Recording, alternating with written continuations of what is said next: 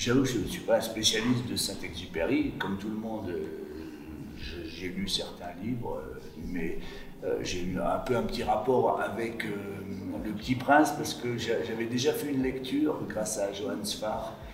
au moment où il avait adapté le livre, je l'avais lu publiquement et j'avais eu un plaisir fou à, lire cette histoire-là. Je l'ai un peu redécouverte à cette occasion-là.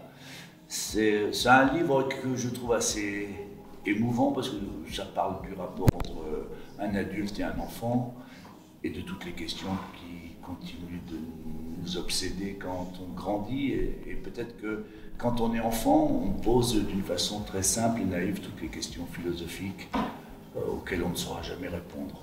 Donc euh, c'est un, un bouquin assez émouvant sur l'existence.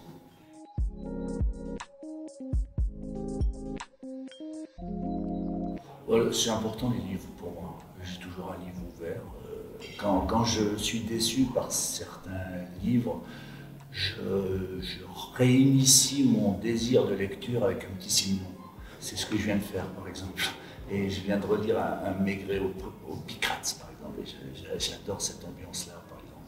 Mais euh, je, je, lis souvent, j'ai toujours un bouquin avec moi. Euh, il y a des auteurs que je lis, auxquels je je, reviens vers eux, Marcel Aimé, Marcel Jules Renard, des gens comme ça. Et puis aussi, la, littérature contemporaine euh, m'intéresse. Euh, je ne suis pas ennemi de l'humour. Alors des fois, ça m'intéresse de voir des gens qui euh, abordent l'humour, enfin abordent les histoires avec un humour qui me paraît inédit. C'est comme ça que l'année dernière, j'avais découvert Fab Caro et son discours que j'avais trouvé euh, à la fois formidablement drôle et puis très émouvant. Euh, j'aime bien quand, les, sentiments se mélangent et j'aime bien découvrir des auteurs.